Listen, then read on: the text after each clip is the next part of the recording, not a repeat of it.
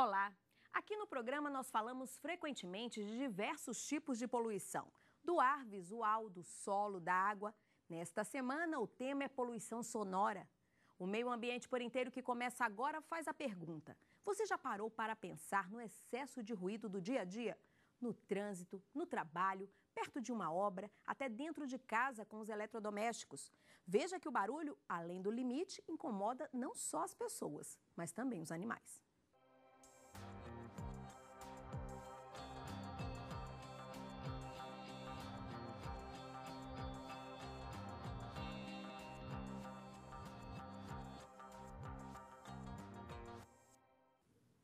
Trânsito, máquinas usadas nas obras, na indústria, carros de som. Imagina tudo isso junto. É poluição sonora na certa. A primeira reportagem do programa desta semana mostra como reagimos no meio de tanto barulho. A nossa equipe foi para as ruas mostrar o que os nossos ouvidos suportam no dia a dia. Um vai e vem.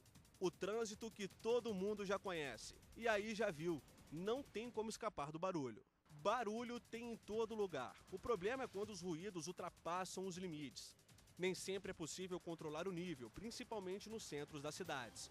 Quem nunca viu cenas como estas? Alguns tentam driblar o ruído de qualquer jeito. E aí o volume vai lá para cima. A gente sempre tem um fonezinho para dar uma descontraída até pegar o ônibus. Tudo misturado aí, de ônibus, de povo gritando, de tudo, policial correndo tudo aí. É, mas se engana quem pensa que esta é uma boa saída. Alguns equipamentos hoje que, que é, são transmissores de música, como os MP3, né, esses tipos de dispositivo eletrônico, é, já estão vindo com um limite máximo de, de, de, exposição sonora que não prejudique a audição, mas não são todos os dispositivos. É, então, o que, que acontece? Quando a pessoa tem um dispositivo que ele ultrapassa o limite de 85 dB que é o limite onde já começa é, uma perda de audição temporária que pode se tornar permanente, esse indivíduo ele fica exposto muito tempo a esse ruído e ele realmente pode ocasionar uma lesão, tentando mascarar o ruído de fundo do seu dia a dia. Então, na verdade, o que é interessante é que a gente procure ver na embalagem desse equipamento se há esse ruído máximo, essa saída máxima sonora no equipamento, para que não prejudique a audição da, da pessoa. A fonoaudióloga explica ainda que o nível permitido, aquele que não causa problemas auditivos, é de até 85 decibéis. Acima disso, pode haver lesão. Em ambientes acima a 90 decibéis, a pessoa não pode ficar exposta mais do que 4 horas. Acima de 95, 2 horas. Acima de 100, 1 hora. 105 decibéis, meia hora. E 110, o permitido é de apenas 15 minutinhos. A poluição sonora já torna a surdez como um problema de saúde pública, principalmente nas grandes cidades brasileiras. Nós estamos agora na área central de Brasília e, como a gente pode ver, movimento é grande. E vamos usar um aplicativo que funciona como medidor de decibéis para identificar o nível de ruído que as pessoas enfrentam todos os dias ao passar por aqui. Por exemplo, o gráfico aponta agora acima de 100 decibéis, que vai muito além do que é recomendado. Fomos até a rodoviária e vimos o problema de perto. Milhares de pessoas circulam por aqui todos os dias. E sabe o que elas têm em comum? A poluição sonora. Nós estamos agora na parte inferior da rodoviária e é fácil perceber que tem barulho de tudo que é lado. Gente que passa conversando, música alta, comerciantes e principalmente o barulho dos ônibus que aguardam para embarcar os passageiros. É muito forte esse barulho, muito forte mesmo, incomoda muito, né? Mas o que, que a gente pode fazer, né? É muito difícil. Incomoda muito. Mas chegando cansado do serviço aí para casa, já não basta o ônibus, ainda mais tem esse aqui. Esse barulho de música aí é... incomoda demais. Se passa meia hora aqui, um pouco mais de meia hora, dá até dor de cabeça, como é que é? Dá sim, dá dor de cabeça sim. O ouvido dá um zumbidozinho estranho. Ruim para os pedestres, agora imagina que os motoristas dos ônibus enfrentam. É difícil, a zoada atrapalha muito do, do motor, a zoada incomoda um pouco, porque junta cigarro, mais barulho, buzina, tudo, aí chega a incomodar. Tem ideia quantas buzinas você escuta por dia? Rapaz, é uns milhões, é uns milhões, é muitas. O meio ambiente por inteiro foi parar em Águas Claras, cidade que fica a quase 20 quilômetros da área central de Brasília. Eram três horas da tarde e o movimento parecia do finzinho do dia, no horário de pico. A Avenida Araucárias divide dois setores da cidade. De um lado, prédios, do outro, comércio. Convidamos este especialista em acústica ambiental para mostrar como o barulho interfere na qualidade de vida da população. Segundo ele, o nível de ruído permitido por uma lei do Distrito Federal é de até 55 decibéis na zona mista, que tem comércio e residências. Flagramos números bem maiores, chegando a quase 80 decibéis. Nessa avenida, a gente tem um tráfego relativamente intenso, apesar de não estar no horário de pico, e a gente tem uma configuração da, da rua que a gente chama de da rua em U. E essa configuração é, faz com que o som reverbere entre os prédios, então que aumente a intensidade aqui onde a gente está, nessa região que a gente está. E, isso, e esses níveis atingem níveis que estão bastante acima do que do limite predito pela legislação ambiental. E os moradores que convivem diariamente com o problema não sabem mais o que fazer. A gente que está pertinho não dá para ouvir o que você fala direito, porque as palavras são levadas pelos carros, né, pelo vento que ocasiona os carros. Imagina os ouvidos, ninguém aguenta essa poluição. É uma coisa terrível. Chega no final do dia e você basicamente está três vezes mais estressado que era para você estar. Tá.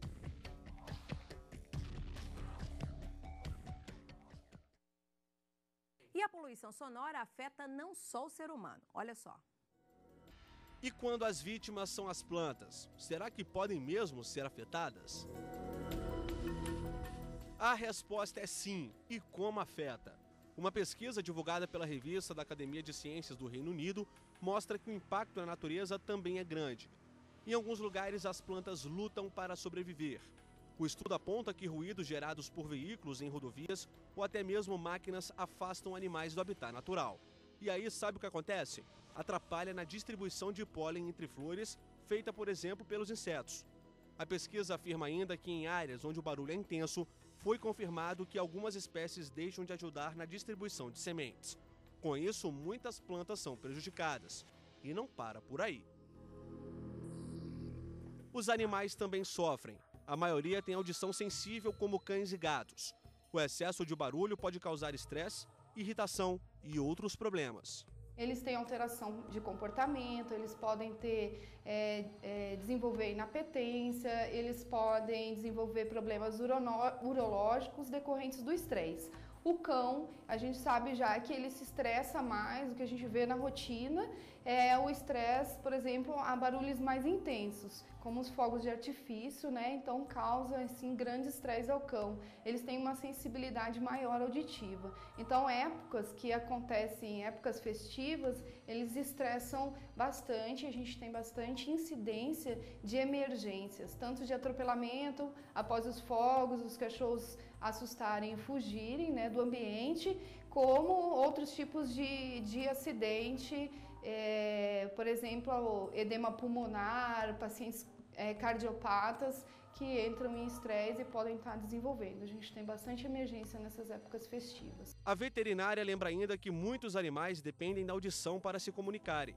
É o caso dos silvestres. A poluição sonora ela afeta diretamente ao estado emocional do animal, né? Então altera é, questão de socialização, questão dele se alimentar por conta do estresse, né? Então ele tem que se ambientar, antes ele vivia num ambiente silvestre, né, numa mata, e ele tem que se habituar a um recinto.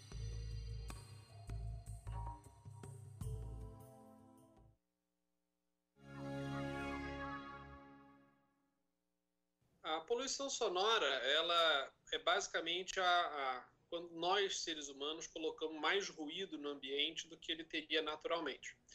Então, todos aqueles animais que utilizam sons para alguma parte da sua, do seu ciclo de vida, pode ser para comunicação, pode ser na captura de presas, pode ser para percepção do ambiente.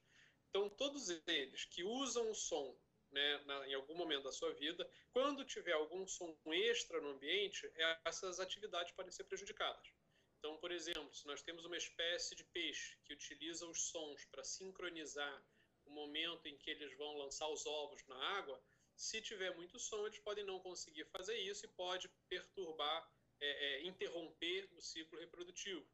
No caso de, de golfinhos, baleias, que são animais que utilizam muito som, especialmente para comunicação, no momento em que nós colocamos, aumenta o ruído dentro do ambiente marinho e com isso eles não conseguem um ouvir ao outro, é o que a gente chama de mascaramento, eles podem, os grupos deles podem se, se é, desfazer, se os animais podem se dissociar uns dos outros, e isso pode atrapalhar uma série de, de, de funções da população, como reprodução, cuidado de filhotes. Então, a poluição marinha, poluição sonora no ambiente marinho tem o potencial de interromper ou prejudicar diversos aspectos dos ciclos de vida dos animais. Existem algumas frequências que certos animais ouvem melhor, outras que eles não ouvem bem, como eu estava comentando aquela, agora no, na faixa dos 100 kHz, os golfinhos ouvem bem e nós não. Então, um som que seja produzido nessa frequência vai afetar muito mais né, um golfinho do que a gente. Já os peixes, eles tendem a se comunicar utilizando frequências mais baixas. Né, o que seria assim, quando eu estou falando de frequência, né, de um termo genérico, seria é, é, se o som é mais agudo ou se é mais grave. Então, frequências mais baixas são sons mais graves, frequências mais agudas são sons são frequências sons mais agudos são frequências mais altas. Então, é, essas frequências mais baixas, sons mais graves, é aqui as frequências que os peixes utilizam mais.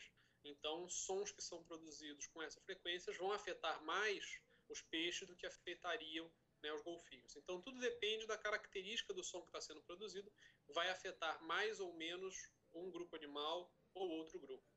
E daqui a pouco, uma conversa com Leider Alves, ele que é coordenador de fiscalização do IBRAM e vai falar tudo sobre poluição sonora. É só um instante.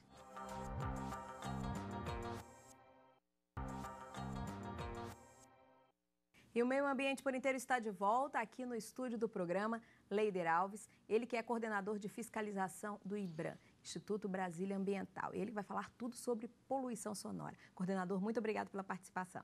Obrigado a vocês pelo convite realizado pelo IBRAM. Okay. ok, primeira dúvida, poluição sonora, assim como poluição visual, é crime? É, esse é um é um, bom, um assunto muito ainda discutido né, em termos de juristas, em termos de magistrados no Brasil. Né? É, a poluição sonora ela vem preocupando né, a sociedade brasileira desde a década de 40. Né? Tanto que ela foi prevista na, no Decreto-Lei 3688 de 41, que fala sobre contravenções penais, né? E no artigo 42, ele trata sobre essa questão de algazarras e barulhos ofensivos à saúde humana. Né? E a pena para essa contravenção seria de 15 dias a 3 meses ou multa. Com o advento da Lei né, 9.605 de 98, a Lei de Crimes Ambientais, é, o seu artigo 54, né, que fala sobre poluição de qualquer tipo ou natureza, né, ela especifica que é, essas, essa poluição que tenha caráter tanto que cause eh, malefícios à saúde humana ou cause mortandade de animais ou uma destruição significativa da, da flora, é, ela é mutada como crime ambiental.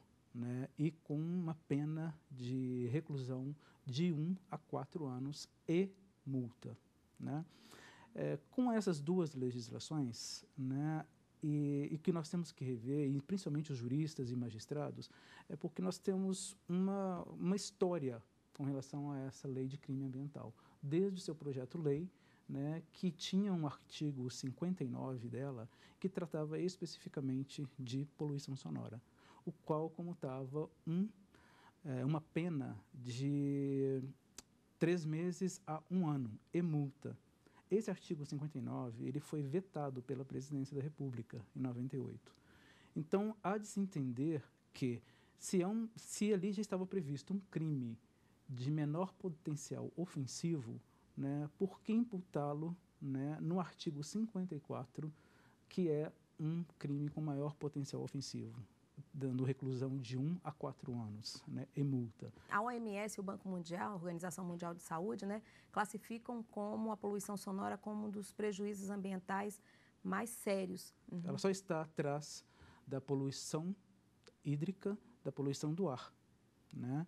Agora, por que que é uma das terceiras mais, é, é. vamos lá, que a OMS tem é, levado em consideração?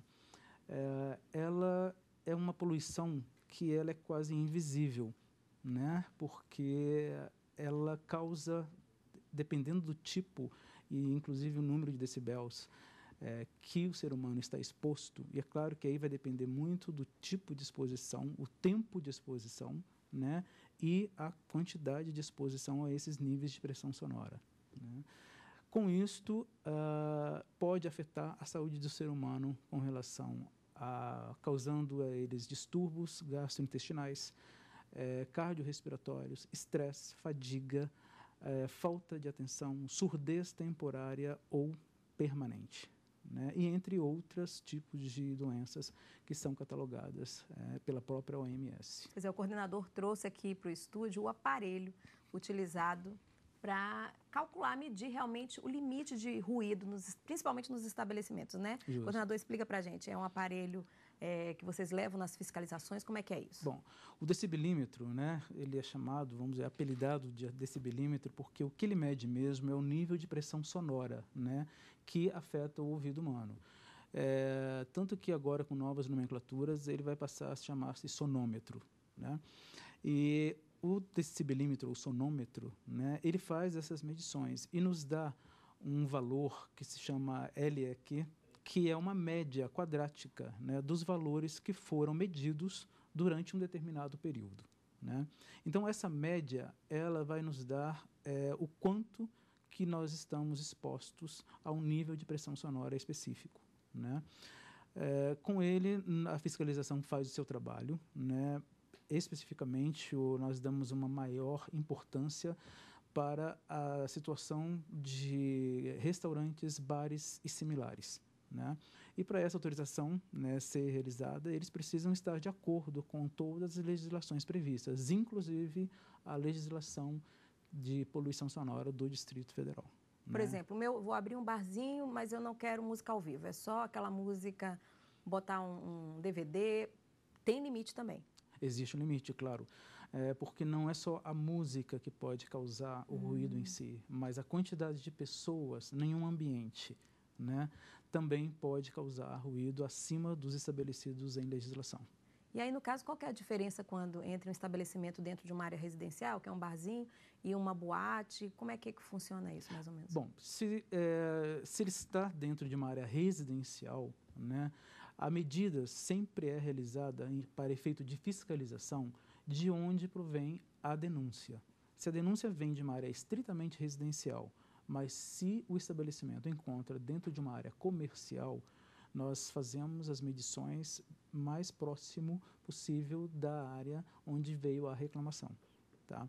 Quando isso não é possível, porque a pessoa não gosta de se identificar, até mesmo de, é, de vamos lá, até medo de represárias com relação aos a várias circunstâncias que tem né, dentro de um determinado comércio, né, nós fazemos, nós respeitamos sempre a norma técnica brasileira, a NBR a 10151, que ela traz procedimentos de como se faz essas medições. Né? Então essas medições ela tem todo um cuidado, né, que hoje foi estudado pelas normas técnicas brasileiras, né, e inclusive é, fazendo com que é, as medições sejam no mínimo dois metros do limite da propriedade, né, do, do limite do seu estabelecimento comercial. Né? Então, ele só estabelece o mínimo, ele não estabelece o máximo. Né? Então, nós podemos fazer a 2 metros, a 15 metros, a 30 metros. Acho que quanto mais for seguro para o auditor fiscal que for fazer as medições, melhor. Né?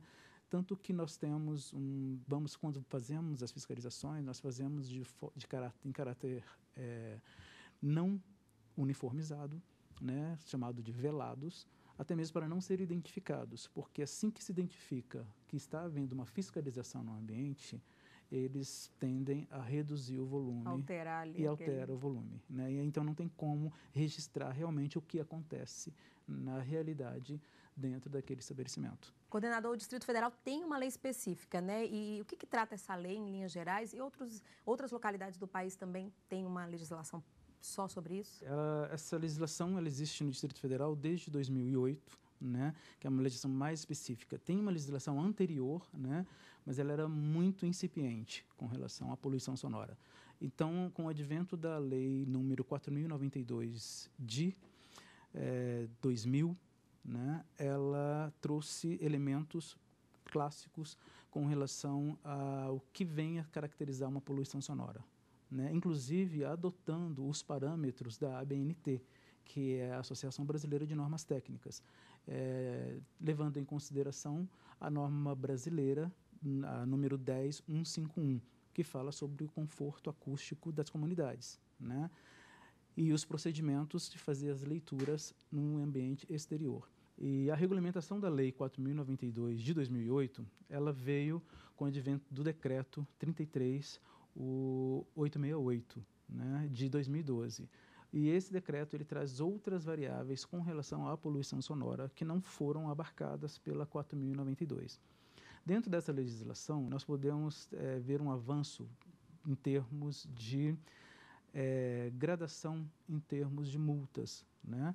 A penalidade imposta para infração ambiental, né, que seria é, produzir sons acima dos especificados por lei, né, é, ela traz essa gradação de multas, que pode ser uma multa leve, né, que vai de 200 a 2 mil reais, uma multa grave, que vai de 2.001 reais até 5 mil reais, uma multa muito grave, que vai de 5 mil e um reais até 10 mil reais, e a gravíssima, que é de 10 mil e um reais até 20 mil reais. Né? E a gente encerra as multas por aí.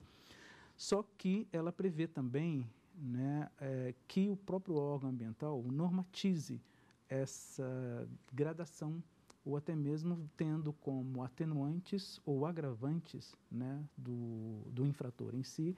E a gente já é, está adotando uma nova, é, uma nova forma de proceder com relação às multas dentro do Distrito Federal, né? e até mesmo como a fiscalizar dentro do Distrito Federal. Os bares e restaurantes e afins que estão infringindo a lei, eles primeiro recebem uma advertência, a primeira vistoria da fiscalização, caso eles estejam acima do limite especificado por lei. Né? É, na terceira vistoria, né? A segunda reserva uma multa leve. Na terceira vistoria, a gente faz uma interdição parcial desses ambientes, né? ou desses restaurantes, bares e similares. E só lá na décima vistoria é que a gente realmente faz uma interdição total do ambiente. Quer dizer, dá tempo do, do comerciante dele se adequar né? perfeitamente. Agora vamos falar de um barulho que realmente incomoda, inclusive o IBRAM tem um estudo com a Unesco que é a questão do, barulho dos veículos no trânsito. Foi preocupante o resultado desse, desse estudo? Foi. Ele, é foi uma, uma contratação que foi feita junto com a Unesco né, e que foi conduzida pelo professor Garavelli, né, Sérgio Garavelli, é, e que fez é, algumas medições em termos de ruído ambiental, especificamente focando no, no, na poluição de veicular. Né? é, ele demonstrou, entre vários outros né, resultados que teve esse estudo, o que mais chama atenção é que 18,3% da população, dentro desses é, resultados que foram encontrados, né, o que mais é, impactou foi que 18,3% da população que habitam o centro de Brasília, que ficam entre os eixos, né, o eixo monumental, é, o eixo, o eixão, uh, as vias L2 e W3 é, e a L4 também, né, eles estão impactados com um valor de nível de pressão noturno de 55 decibéis. Né? Esse valor está acima do recomendado pela OMS. Isso já equivale, isso já nos mostra que Brasília Brasília, o plano piloto, já precisa de um plano de redução de ruídos. Né? Esse plano de redução de ruídos, ele trará todas as diretrizes necessárias para que uh, ocorra um melhor conforto acústico para a população daqui do plano piloto. Né? E é recomendado também que este estudo seja é, ampliado para todo o Distrito Federal. Pois é, eu conversei com Leider Alves, ele que é coordenador lá do IBRAM, Instituto Brasília Ambiental, e falou com a gente a respeito da poluição sonora, dos problemas nas cidades por conta do excesso do barulho. Coordenador, muito obrigada pela presença, pelas informações muito importantes, interessantes. A gente não sabe, às vezes, que o, a, o barulho em excesso prejudique tanto, né? Obrigado vocês mais uma vez pela, pelo convite realizado aqui pela TV Justiça. Ok. E o Meio Ambiente por Inteiro fica por aqui. Você pode rever os programas no site da TV Justiça. Basta acessar www.tvjustiça.jus.br. E se você tiver uma sugestão de reportagem, já sabe, escreva para gente. O e-mail é meio ambiente por inteiro, tudo junto, arroba stf.jus.br. A você, muito obrigada pela audiência. Na semana que vem a gente tem um novo encontro marcado. Eu te espero. Tchau, tchau.